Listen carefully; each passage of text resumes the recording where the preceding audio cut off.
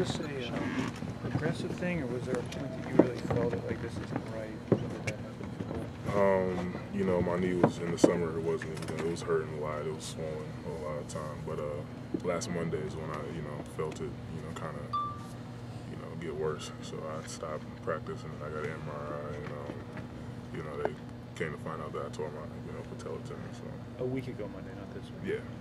And mentally, what, what, what did that, how'd that feel knowing that you're going to be out six to eight? Uh, you know, it's hard. It's hard to do. It's hard to take it in because you know, I, of course, I want to be out there playing with the team, but um, you know, I'm still gonna be on the bench. You know, cheering them on. So you know, I can always you know wait and get better in rehab. So What can you do right now? uh, for the first week, I can't do. I can't do much of anything. But um, next week, I'm gonna start. You know, doing rehab. You know, my leg and uh, you know, as it progresses, I'll get on the bike and then start jogging and then hopefully get back as soon as possible.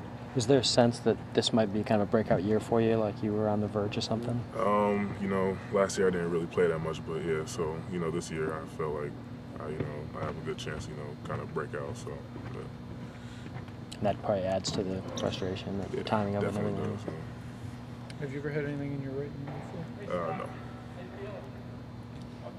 Did you, when you said you hurt on Monday, was there something in particular you did? Yeah, well, I mean, we had just started practice, just finished warm ups, and we went to our first drill, and um, you know, I jumped and came down. I felt something weird. I, you know, I told uh, the trainer, and uh, you know, you know, went from there. So.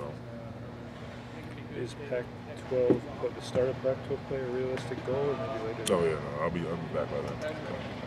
Was rest and rehab the only real option? Uh, for this uh, for this first week it is.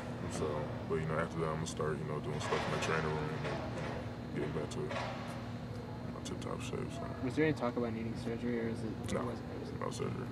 When they say six to eight weeks, what makes it six? What makes it eight? Any idea? I have no clue, but I wish I'd come back sooner. But you know, you know I gotta I make sure I gotta keep my knee fine. So I don't want to come back too early. You know, get hurt again. So.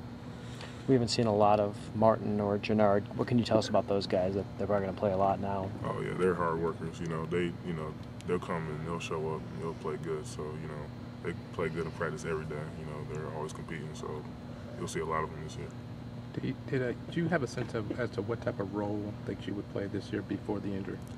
Um, not much. You know, this year I'm kind of now as of right now I kind of just want to you know go out there you know be like the leading rebounder and you know do everything the scrap guy. You know do what I can. So you know contribute to the team as much as I can. So. And um, it was Romar who said that that you had become the team's best low post option for the, the for the bigs. Yeah. Who does that now? Um, you know, Aziz. I would have to say Aziz because you know he's he, you know he can he's he's doing better finishing in the post and everything. So he's been doing really good in practice.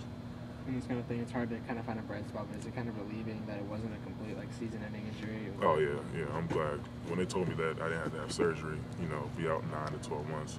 I was you know I was I was relieved, but you know just gotta wait it out. So If you had to describe your feelings right now, it's what?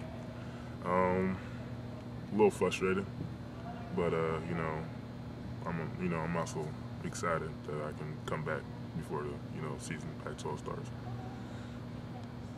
Thanks, John.